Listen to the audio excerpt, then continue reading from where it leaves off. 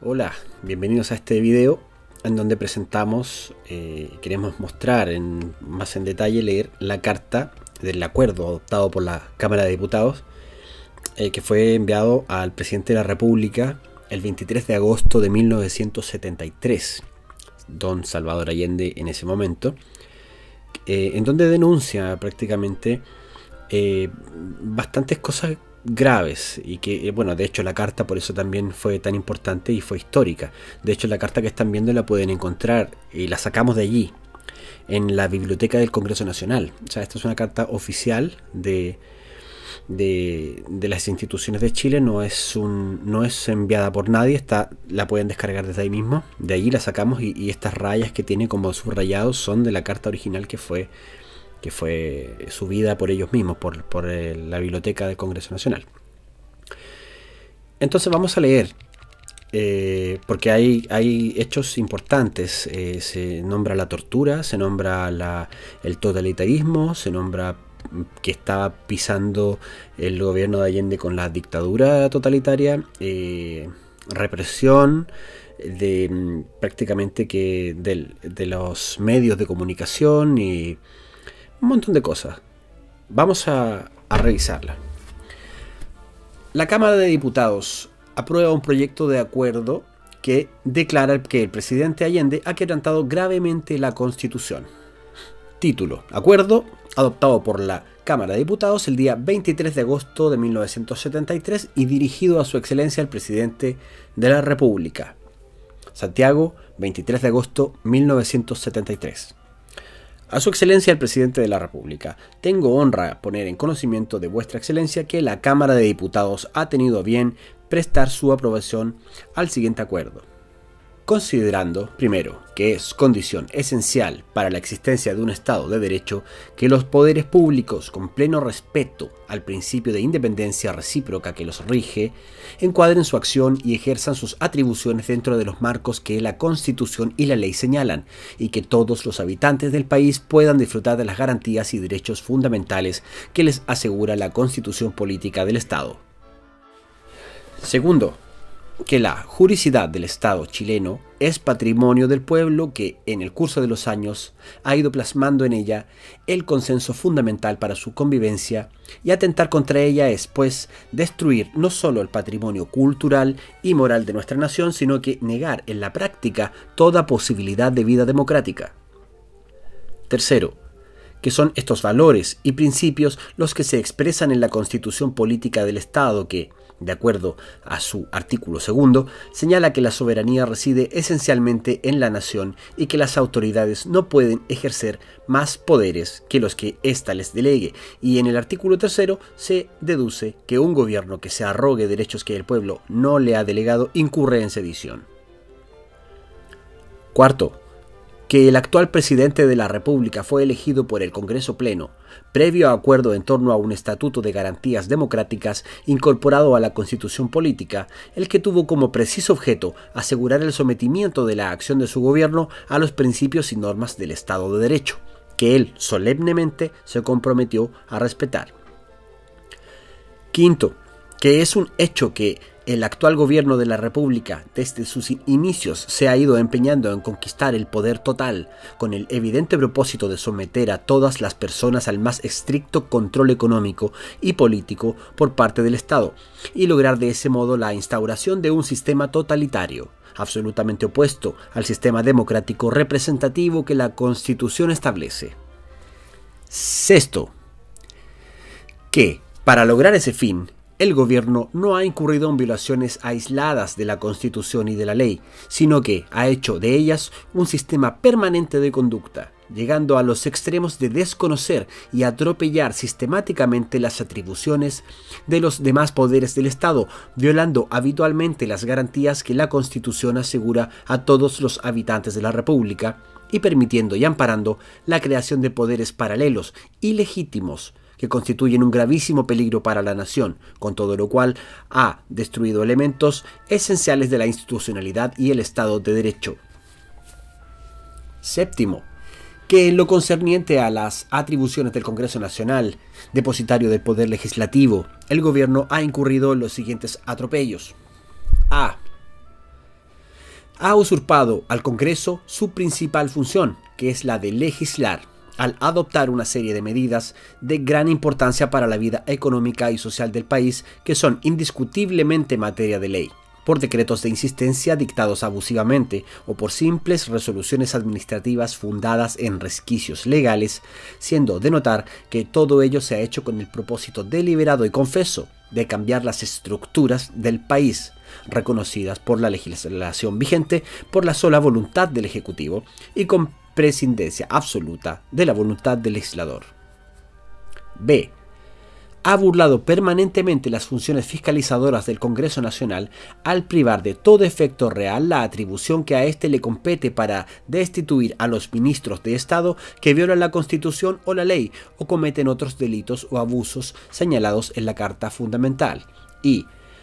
C, por último, lo que tiene la más extraordinaria gravedad, ha hecho tabla rasa de la alta función que el Congreso tiene como poder constituyente al negarse a promulgar la reforma constitucional sobre las tres áreas de la economía que ha sido aprobada con estricta sujeción a las normas que para ese efecto establece la Carta Fundamental. Octavo, que en lo que concierne al Poder Judicial ha incurrido los siguientes desmanes. A con el propósito de minar la autoridad de la magistratura y de doblegar su independencia, ha capitaneado una infamante campaña de injurias y calumnias contra la excelentísima Corte Suprema y ha amparado graves atropellos de hecho contra las personas y atribuciones de los jueces. B ha burlado la acción de la justicia en los casos de delincuentes que pertenecen a partidos y grupos integrantes o afines del gobierno, ya sea mediante el ejercicio abusivo del indulto o mediante el incumplimiento deliberado de órdenes de detención. C. Ha violado leyes expresas y ha hecho tabla rasa del principio de separación de los poderes, dejando sin aplicación las sentencias o resoluciones judiciales contrarias a sus designios y frente a las denuncias que al respecto ha formulado la excelentísima Corte Suprema, el presidente de la República ha llegado al extremo inaudito de arrogarse en tesis el derecho de hacer un juicio de méritos a fallos judiciales, determinando cuándo estos deben ser cumplidos. Noveno, que lo que se refiere a la Contraloría General de la República, un organismo autónomo esencial para el mantenimiento de la juridicidad administrativa, el gobierno ha violado sistemáticamente los dictámenes y actuaciones destinados a representar la ilegalidad de los actos del Ejecutivo o de entidades dependientes de él. Décimo, que entre los constantes atropellos del gobierno a las garantías y derechos fundamentales establecidos en la Constitución pueden destacarse los siguientes. A ha violado el principio de igualdad ante la ley, mediante discriminaciones sectarias y odiosas en la protección que la autoridad debe prestar a las personas, los derechos y los bienes de todos los habitantes de la República en el ejercicio de las facultades que dicen relación con la alimentación y subsistencia y en numerosos otros aspectos, siendo de notar que el propio presidente de la República ha erigido estas discriminaciones en norma fundamental de su gobierno al proclamar desde el principio que él no considera ser presidente de todos los chilenos. B. Ha atentado gravemente contra la libertad de expresión, ejerciendo toda clase de presiones económicas contra los órganos de difusión que no son incondicionales adeptos del gobierno, clausurando ilegalmente diarios y radios, imponiendo a estas últimas cadenas ilegales encarcelando inconstitucionalmente a periodistas de oposición, recurriendo a maniobras arteras para adquirir el monopolio del papel de imprenta, y violando abiertamente las disposiciones legales a que debe sujetarse el Canal Nacional de Televisión, al entregarlo a la dirección superior de un funcionario que no ha sido nombrado con acuerdo del Senado, como lo exige la ley, y al convertirlo en un instrumento de propaganda sectaria y de difamación de los adversarios políticos. C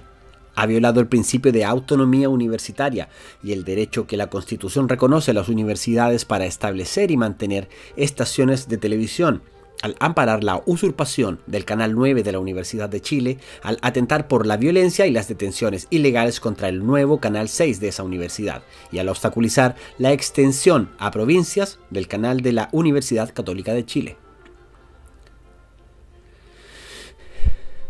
D ha estorbado, impedido y a veces reprimido con violencia el ejercicio del derecho de reunión por parte de los ciudadanos que no son adictos al régimen, mientras ha permitido constantemente que grupos a menudo armados se reúnan sin sujeción a los reglamentos pertinentes y se apoderen de las calles y camiones para amedrentar a la población. E ha atentado contra la libertad de enseñanza, poniendo en aplicación en forma ilegal y subrepticia a través del llamado Decreto de Democratización de la Enseñanza un plan educacional que persigue como finalidad la concientización marxista.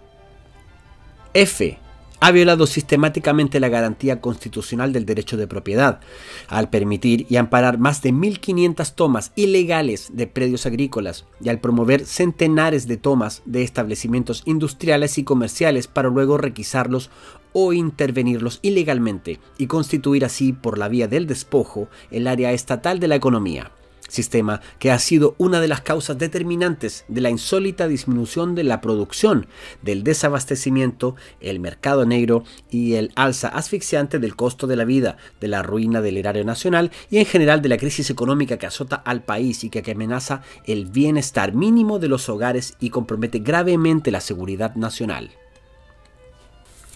G ha incurrido en frecuentes detenciones ilegales por motivos políticos, además de las ya señaladas con respecto a los periodistas, y ha tolerado que las víctimas sean sometidas en muchos casos a flagelaciones y torturas. H. Ha desconocido los derechos de los trabajadores y de sus organizaciones sindicales o gremiales, sometiéndolos, como en el caso de El Teniente o de los transportistas, a medios ilegales de represión.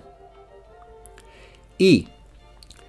ha roto compromisos contraídos para hacer justicia con trabajadores injustamente perseguidos como los de Sumar, el Betia, Banco Central, el Teniente y Chuquicamata. Ha seguido una arbitraria política de imposición de las haciendas estatales a los campesinos, contraviniendo expresamente la ley de reforma agraria. Ha negado la participación real de los trabajadores de acuerdo a la reforma constitucional que les reconoce dicho derecho, ha impulsado el fin de la libertad sindical mediante el paralelismo político en las organizaciones de los trabajadores,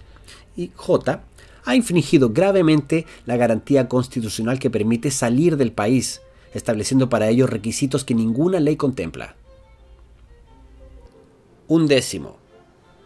que contribuye poderosamente a la quiebra del Estado de Derecho y la formación y mantenimiento, bajo el estímulo y la protección del gobierno, de una serie de organismos que son sediciosos porque ejercen una autoridad que ni la Constitución ni la ley les otorgan, con manifiesta violación de lo dispuesto en el artículo 10, número 16 de la Carta Fundamental, como por ejemplo los comandos comunales, los consejos campesinos, los comités de vigilancia, las JAP, etc destinados todos a crear el mal llamado poder popular, cuyo fin es sustituir a los poderes legítimamente constituidos y servir de base a la dictadura totalitaria. Hechos que han sido públicamente reconocidos por el presidente de la República en su último mensaje presidencial y por todos los teóricos y medios de comunicación oficialistas.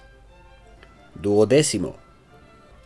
que en la quiebra del Estado de Derecho tiene especial gravedad la formación y desarrollo, bajo el amparo del gobierno, de grupos armados que además de atentar contra la seguridad de las personas y sus derechos y contra la paz interna de la nación, están destinados a enfrentarse contra las Fuerzas Armadas, como también tiene especial gravedad el que se impida al cuerpo de carabineros ejercer sus importantísimas funciones frente a las asonadas delictuosas perpetradas por grupos violentistas afectos al gobierno no pueden silenciarse por su alta gravedad los públicos y notorios intentos de utilizar a las Fuerzas Armadas y al cuerpo de carabinero con fines partidistas, quebrantar su jerarquía institucional e infiltrar políticamente sus cuadros. Décimo tercero. Que, al constituirse el actual ministerio, con participación de altos miembros de las Fuerzas Armadas y del Cuerpo de Carabineros, el excelentísimo señor presidente de la República lo denominó de seguridad nacional y le señaló como tareas fundamentales las de imponer el orden político e imponer el orden económico, lo que solo es concebible sobre la base del pleno restablecimiento y vigencia de las normas constitucionales y legales que configuran el orden institucional de la República. Décimo cuarto que las Fuerzas Armadas y el Cuerpo de Carabineros son y deben ser, por su propia naturaleza, garantía para todos los chilenos y no solo para un sector de la nación o para una combinación política. Por consiguiente, su presencia en el gobierno no puede prestarse para que cubran con su aval determinada política partidista y minoritaria, sino que debe encaminarse a restablecer las condiciones de pleno imperio de la Constitución y las leyes y de convivencia democrática indispensables para garantizar a Chile su estabilidad institucional, paz civil, seguridad y desarrollo. Décimo quinto, por último, en el ejercicio de las atribuciones que le confiere el artículo 39 de la Constitución Política del Estado, la Cámara de Diputados acuerda. Primero, representar a Su Excelencia al Presidente de la República y a los señores ministros de Estado, miembros de las Fuerzas Armadas y del Cuerpo de Carabineros, el grave quebrantamiento del orden constitucional y legal de la República que entrañen los hechos y circunstancias referidos en los considerados número 5 al 12 precedentes. Segundo, representarles asimismo que en razón de sus funciones del juramento de fidelidad a la Constitución y a las leyes que han prestado y, en el caso de dichos señores ministros, de la naturaleza de las instituciones de las cuales son altos miembros y cuyo nombre se ha involucrado para incorporarlos al ministerio, les corresponde poner inmediato término a todas las situaciones de hecho referidas que infringen la Constitución y las leyes, con el fin de encauzar la acción gubernativa por las vías del derecho y asegurar el orden constitucional de nuestra patria y las bases esenciales de convivencia democrática entre los chilenos. Tercero,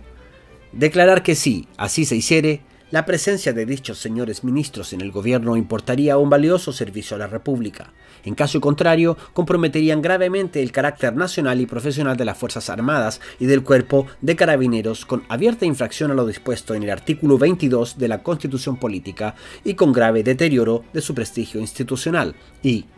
Cuarto, transmitir este acuerdo a Su Excelencia el Presidente de la República y a los señores ministros de Hacienda, Defensa Nacional, Obras Públicas y Transportes y Tierras y Colonización. Luis Pareto González, presidente, Raúl Guerrero Guerrero, secretario. Les dejo también acá las fuentes, eh, les vamos a dejar el link abajo también del video y eh, pueden revisarlo en cualquier momento también eh, está descargable el PDF por si lo necesitan en nuestro sitio web que también les dejaremos el link más abajo. Gracias.